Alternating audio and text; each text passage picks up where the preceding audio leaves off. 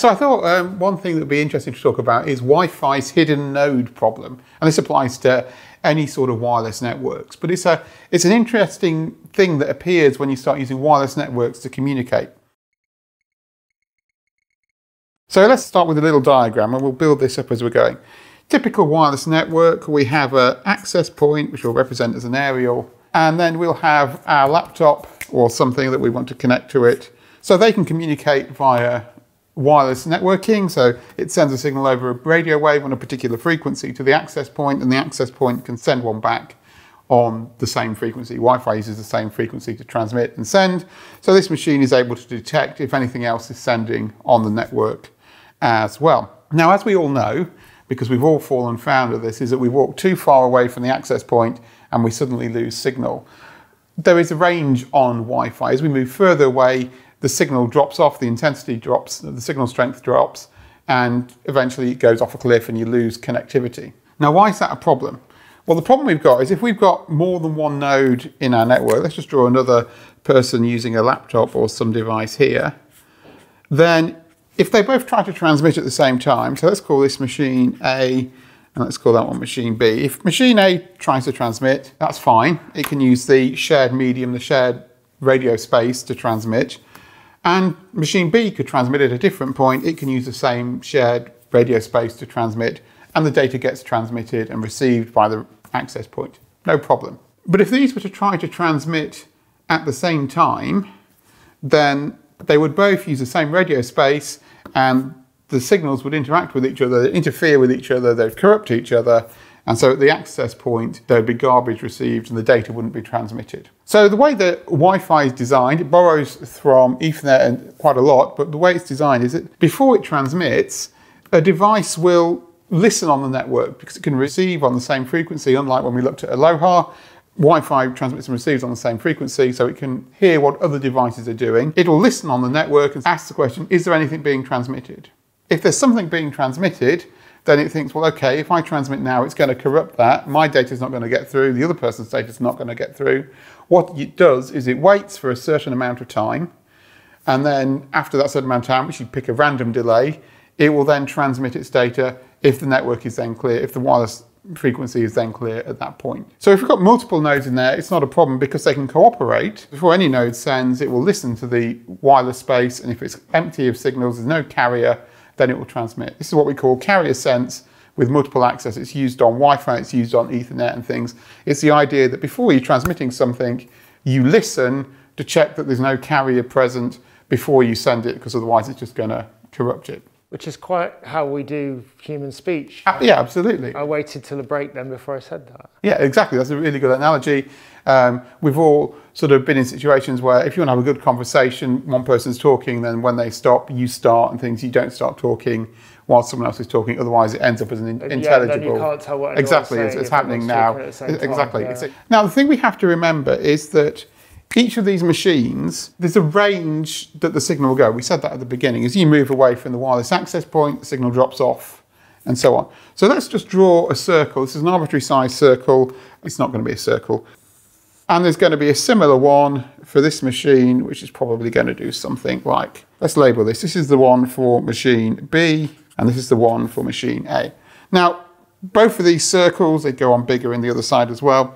Machine A and machine B are in those things, so they can hear when the other one transmits, not a problem. Let's suppose we have a third machine though, let's call it machine C, and it's right down here. We'll call that machine C. Can you see that on the other camera? Yes, you can. Hi. And let's suppose though that its transmission circle, the range it can get, sort of does that. Now it can transmit perfectly fine to the access point and it can receive data. A can transmit to the access point, it can receive data. B can transmit to the access point. But the key problem we've got here is that machine C is out of range of both machine A and B. So we could get the problem where machine A decides it, the network's clear because it can't hear anything on there, it can't sense anything on the wireless frequencies, and machine C does exactly the same thing. It can't sense anything on the wireless frequencies, and they both try and transmit at the same time. And what's actually received by the access point is just corrupted data. Neither packet got through. This is what we call the hidden node problem because there's another node that this machine is not aware of that can transmit, and vice versa. There's, another, there's nodes that this machine is not aware of that can transmit. But the actual thing they're transmitting to can hear both of them because it's sitting in this gap in the middle where it can hear all of them. And so we need to have some way that we can organize these machines so that when they transmit, they do so in a way so that the access point doesn't get corrupted data, even though machine A and C can't see or hear each other. They can't sort of pick up each other's transmissions. Now, you've got a similar problem on the original Ethernet. Back when you had a shared physical piece of wire for each machine on Ethernet, they were all connected to that. Uh, you had exactly the same problem. And they used the same idea of carrier sense with multiple access in that they would wait until the network was clear. But they could detect, because the signal was on a piece of wire, it didn't drop off in the same way, they could detect if another machine transmitted at the same time as them. And so they could detect the collision, stop transmitting, wait a random amount of time, and then re retransmit. And as long as the random amount of times were different, one of them would be able to transmit and the other would get it through. You can't do that on Wi-Fi because it can't detect the carrier from this machine and vice versa. This can't detect the carrier from that machine. So we need to take a different approach. So on Ethernet, they use the system called CSMA, Carrier Sense Multiple Access with Collision Detection. We should probably do a Computerphile on that at some point. That was the original Ethernet. These days, when it's switched and things, that problem disappeared, but that's another Computerphile that someone needs to do at some point. Can't do that with Wi-Fi, so we need a different approach. And the approach we use is carrier sense multiple access with collision avoidance. So we use this sort of this approach instead. So with Ethernet, you detect the collision and recover from it. With Wi-Fi, you try and stop the collision happening in the first place. So you, you do something with the three machines and the access point you've got here to stop the collision in the first place. Let's think about the problem we've got. We've got a problem where machine A and machine C are transmitting at the same time and the data's interfering with each other. We need something to try and stop them transmitting at the same time. So what we want is a mechanism where one of the machines, let's use machine A as an example, can reserve the radio space while it sends the packet. So we want some way of reserving it so all the other machines know, don't send anything at this point. And so the way that we do this in Wi-Fi is we send out what's called a request to send or RTS message from the machine that's trying to send to the access point. So this sends out a request to send message and this message is designed to be very, very short. The idea being that if it's very, very short, it's very unlikely to collide with anything. And so we send a message out from machine A that's very, very small. It's received by the access point. It's not received by machine C, but it's received by the access point. And it gets that request to send, and then it sends back what's called a clear to send packet with details of which machine is clear to send, and it sends that out over the Wi-Fi network. And the beautiful thing about that is that when the clear to send message is sent out, it'll go out to all the machines, will also be picked up by machine C, even though it's not in range of A and B, and so didn't get the request to send packet, it will still see the clear to send. And so it knows at that point that, hang on, something's about to transmit on this network.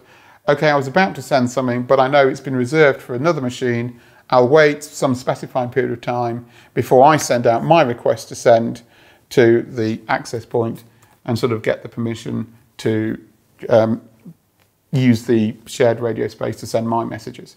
So what we do with collision avoidance, we stop the collision happening in the first place by getting each of the machines to reserve the radio space before they send their data. You might think, well, what happens if machine A and C both send a request to send at the same time?